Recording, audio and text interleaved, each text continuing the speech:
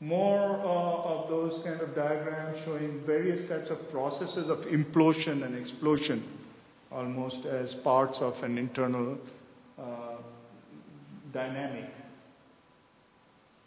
Similar kinds that they look like pure sort of, you know, visual explorations, just explorations of form, which to some extent they are, because these people will tell you that these are not to be thought of as meaningful okay, or as representational, but to be thought of as purely optical.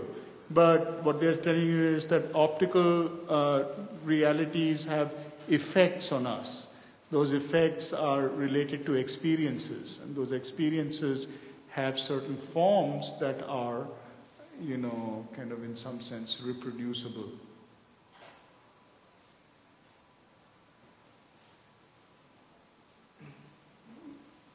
I'm not going to say much about these because it's just for us to look at. And a lot of them are interspersed with text, as you'll find in the examples in this gallery, uh, that they have, uh, you know, a lot of text which are mantric, you know, the sort of spells that are connected with these diagrams. So you read them and you intone them at the same time. I mean, and, and view the diagrams at the same time. More of the same kind, diagrams and uh, interspersed with text. Text and image working together, where text is also a visual object and the image itself is also a sort of audible object. So there's a kind of a crossover of the senses that takes place. And we'll see how even in modern times, part of the, some of the artists of the Neo-Tantra movement are utilizing this, you know, synesthetic principle. In other words, that images have sounds associated with them, and sounds have colors and forms associated with them.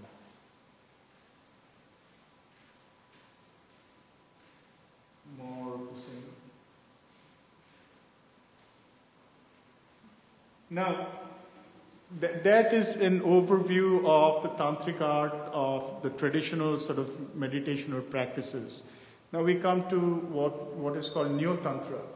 And Neo Tantra is a kind of a very important, vital sort of contemporary art movement in India.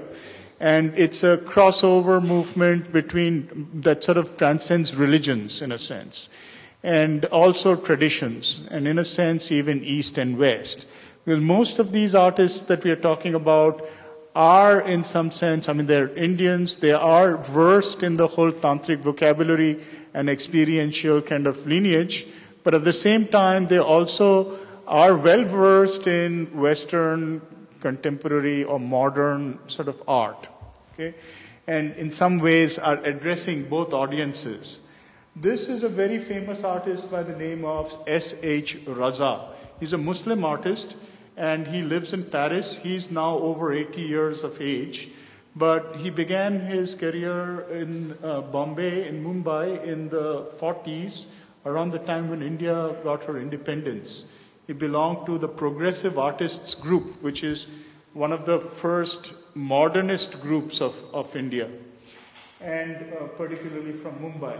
Calcutta produced a different stream of modernism, Indian modernism, and Mumbai produced another one. And this uh, S.H. Raza's work, uh, after uh, you know a few decades, turns towards this neo-tantric uh, mode. But uh, you know he's very kind of in some way, some ways he's quite consciously uh, modernist in the Western sense because he was educated partly in Paris and lived in India for some time, and then went back to Paris and lives there now. Uh, so we find that um, his work is invested in the metaphors of Tantra, but he wants to shear away from them any kind of metaphorical significance. However, he does mix uh, words and, uh, and, and, and, images, like in this one. And, uh, you know, he was one of the artists, or actually, he refused to. Um, to, to, to exhibit in the Neo Tantra show for reasons of his own. but uh, he uh, has um, spoken a good deal about his art. And about this particular painting, uh, he, he, has this right up here. This is a painting on what, he, what is known as the nada. The nada is the idea of the primordial sound. It's a sound without any origin. In other words, it's always there. It, it doesn't have any beginning or any end. I mean, it's what the Zen koan talks about when they tell you to listen to the sound of one hand clapping. So it's a, a, a kind of a always existent sound, but he uses this black uh, circle to give you the sense of that sound. And, uh, you know, he writes a, a, a mantra uh, about the nada over here in, in, in black uh, ink. Um, so his work, um, you know, sort of, I mean, is, is one of the very well known neo-tantric art works.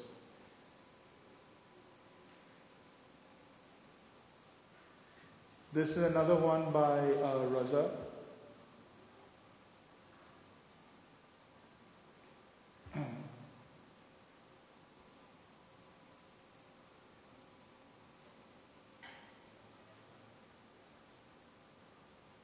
and then this.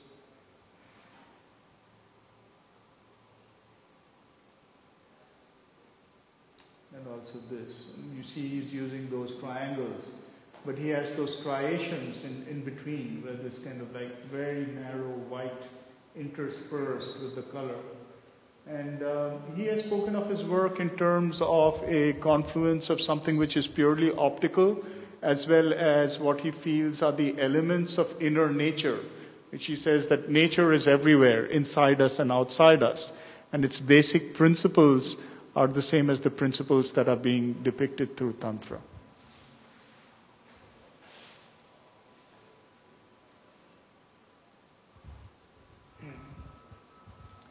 Now, this whole idea of the energy rising up from below the sort of spine is likened to a serpent in the tantric literature.